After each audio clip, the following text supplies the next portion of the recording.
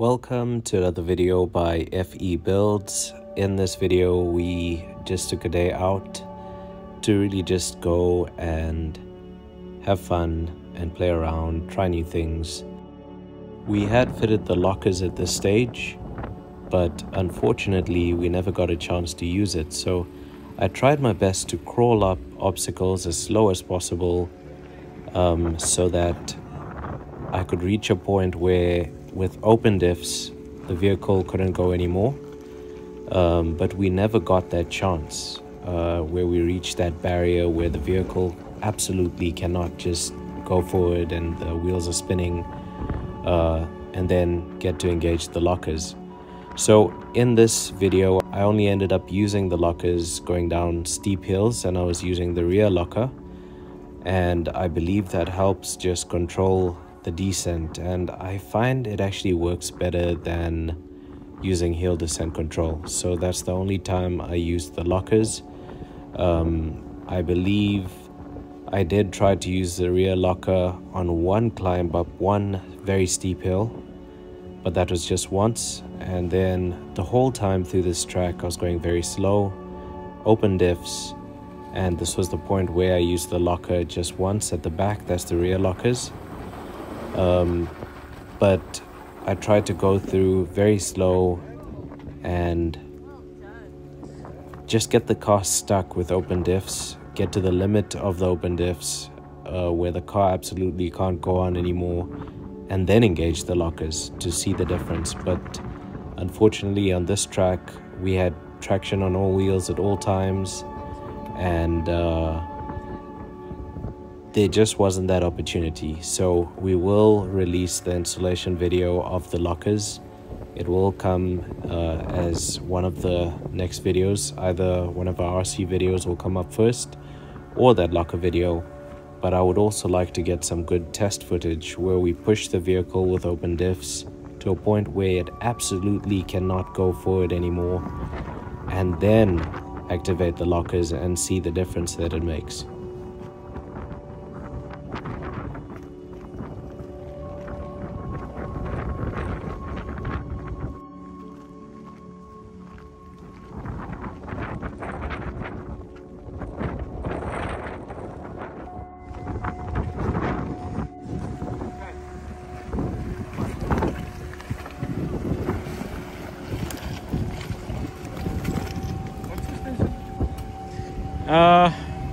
He knows all the specs, but uh, but yes, those adjustable ones.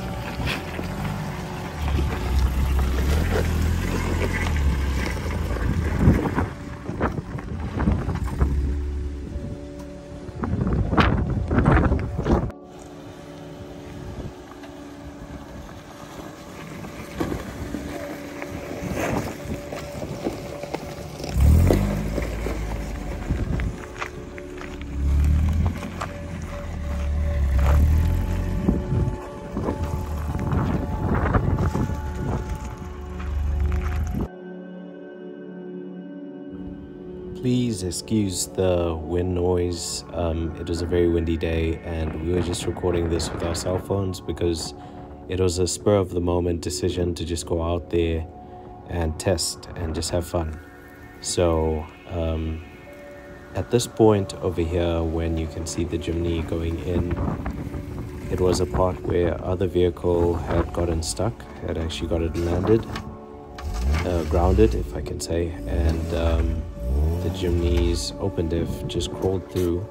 I believe it's because of the short wheelbase and also the TRE Omnics that we have are very flexible. It allows the suspension to just flex a lot more and gain that traction that you need.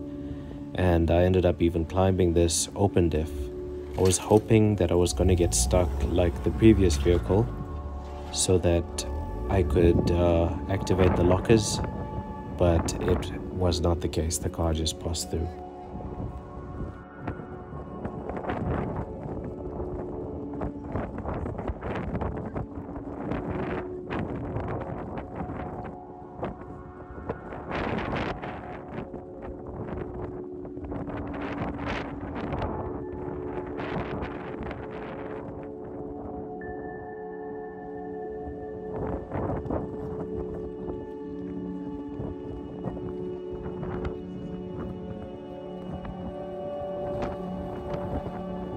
As you can see, I'm going very slow, uh, really just idling the car through, hoping I would reach a point where the tires just start spinning and then get to test the lockers, um, but that was not the case.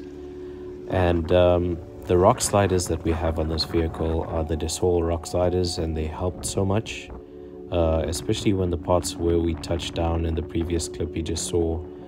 Uh, however, I did uh, dent my front number plate slightly uh, coming out of that section where I was hoping to get the car stuck, but uh, it was an easy fix. We just bent it right there on spot, bent it straight, and all was good. So I reversed back down over here, aiming to climb it even slower, um, just to try and get it to slip. I wanted to get uh, one of the tires spinning with open diffs and then uh, stop and engage the lockers and go forward, but the car just kept on pushing through. And um, we're going to get a chance to test it uh, possibly at another track. Uh, we did really enjoy the Crockarts Hope track and uh, we had so much fun. As you can see there are some steep climbs um, but it is hard compact soil and um, I think the time when it will really get to test the lockers is when we get into very soft mud or uh, sand um, or very deep ruts and uh, undulations. But uh, over here, really, um, we really just use the rear locker going downhill just to control the descent.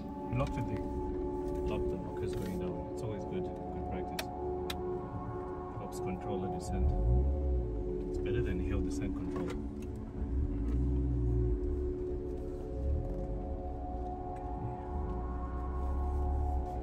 So all this is currently open diff. I think the rear locker still isn't disabled.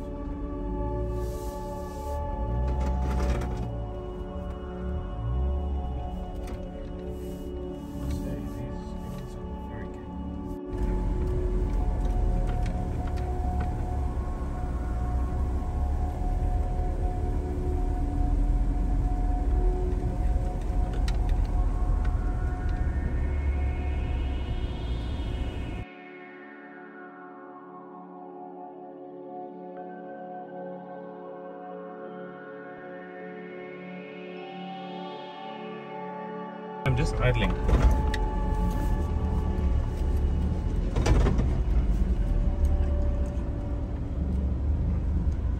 It's literally idling, idling through with open diffs.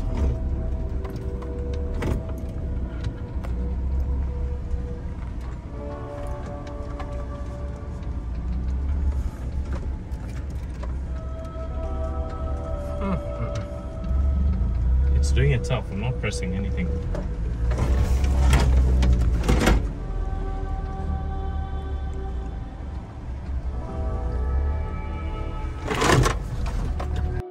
So the sounds that you hear of things moving around is not the shocks bottoming out.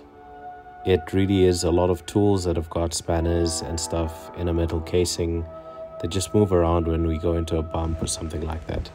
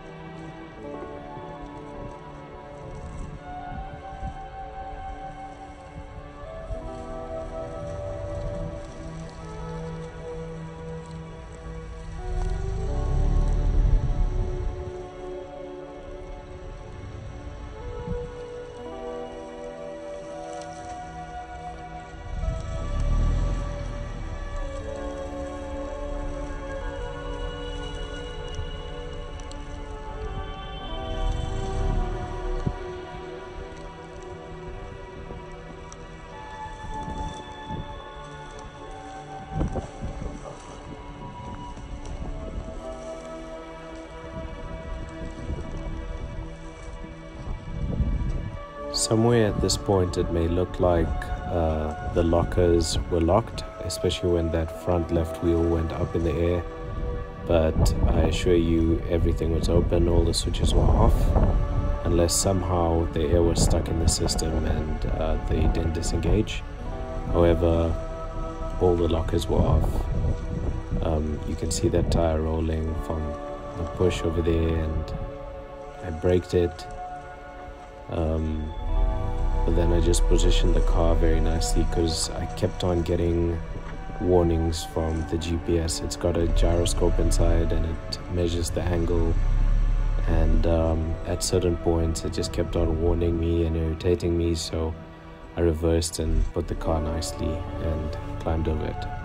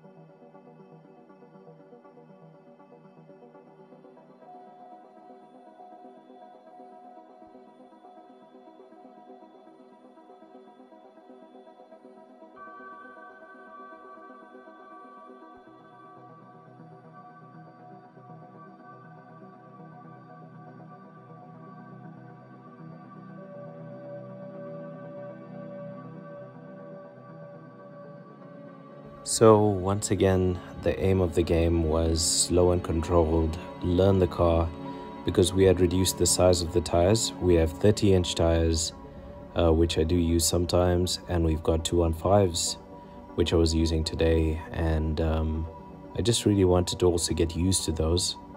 So, everywhere I went on this track, I was just going slow. And I have used momentum before but on this particular one, I just wanted to go slow and controlled. And then we come to the rally track, uh, which was really fun. We went fast, not as fast as we did in Limpopo uh, when we were testing out the TRE Ominix in the previous video. But um, we actually did this track quite fast and um, on this particular lap we were leading the the pack and uh, at some point we noticed dust from the last vehicle that was behind so we had actually caught up with the vehicle that's at the back so we st- sort of slowed down so we don't rear end them by accident uh, because there were some twisties and some blind spots where if you're going too fast uh, you could rear end uh, another vehicle. But what we did do before um, pushing the vehicles like this to show some responsibility is we drove the track slow a couple of times at first, just made sure there's no people, no animals, no one who could get hurt, and no one who could get in the way of the vehicle and get hit. Remember, at the end of the day, safety is the aim of the game, and at FE Builds, we're all about safety, and uh, that's what we did. We were practicing our best practices as we were going around this track. Uh, however, if I did have a rally car, um, maybe a all-wheel drive rally car, I would have gone much, much, much faster on this particular track because it was really fun and really nice. There was only one section where a tree had fallen in the way, which you will see. I think this is a tree. Something right here. Yeah, tree.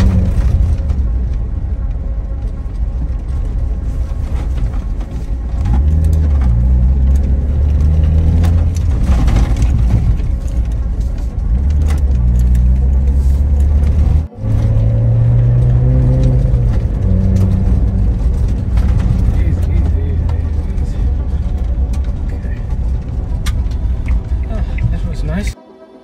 So that's wrap for this video. Thank you for watching.